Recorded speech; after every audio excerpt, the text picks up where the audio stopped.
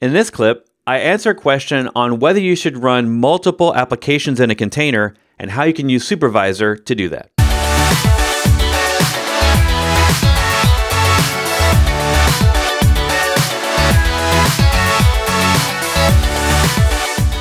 Verification error is back. What is your opinion on the usage of Supervisor D?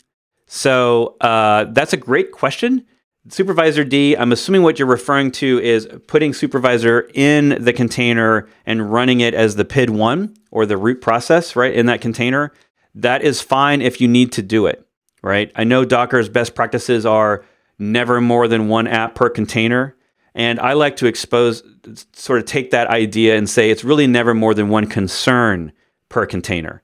And when in some cases that concern might be multiple executables, and so you would need to start of those with something else. And it could be some sort of fancy shell scripting.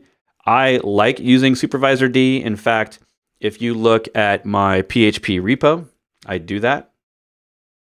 I have a horribly outdated PHP repo for Laravel, so it definitely needs some updates to use some of the modern new Docker features, but it shows off a couple of things uh, that are unique. And one of those is that for PHP, when you're using FPM, you need the PHP executable running and the Nginx executable running.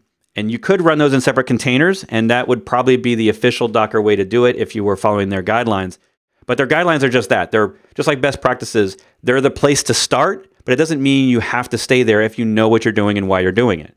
So in my case, I would, in, in this particular example, I combine both Nginx and the PHP FPM into the same container image, and I run them both with Supervisor D. And so it adds another layer of complexity because now I have Docker running a container that's actually running Supervisor, and Supervisor is running Nginx and FPM.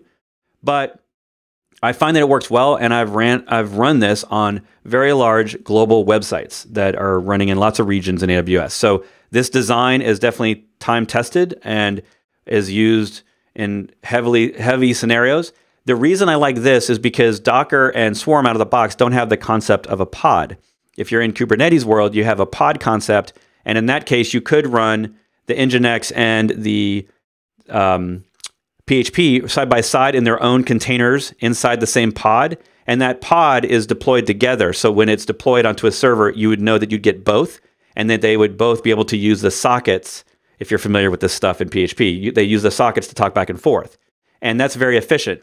But in the Docker Swarm way, you would do it out of the box that way. You would have to talk over TCP, and that adds lots of lag. I mean, not lots of lag. It's maybe fine for some people, but when you're talking about going across server instead of just talking over a local socket inside the same kernel, there's definitely added, you know, possibly multiple milliseconds, if not tens of milliseconds of delay there. So I like to run them both in the same container, and I use Supervisor D to do that. So check out that example. I will throw that in chat. I think I saw someone post that in there already. So hopefully that helps you out and that answers your question. Um, there's only a few places, by the way, that I use Supervisor D, and that's one of them.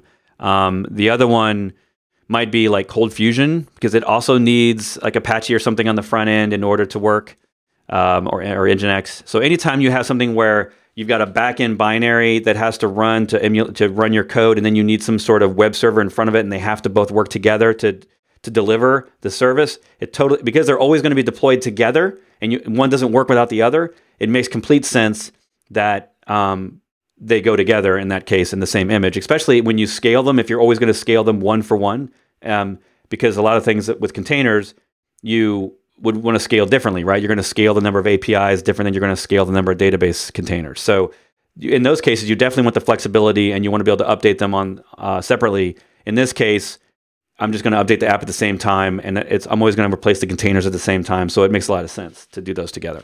So hopefully that helps. Thanks for watching. Click the subscribe and the notification bell down there will let you know when I go live every week to take your questions on Docker and DevOps. You can watch these videos over here, or you can just go watch those cat videos you've been meaning to watch.